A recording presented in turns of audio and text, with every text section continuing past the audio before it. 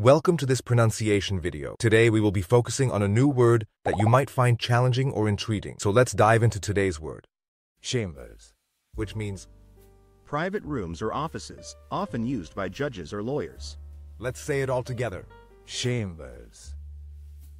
Chambers. Chambers. One more time. Chambers.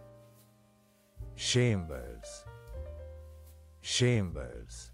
Thank you for joining us on this adventure in pronunciation. Remember, language is a journey, not a destination. Keep exploring, experimenting, and expanding your linguistic horizons. We'll see you next time.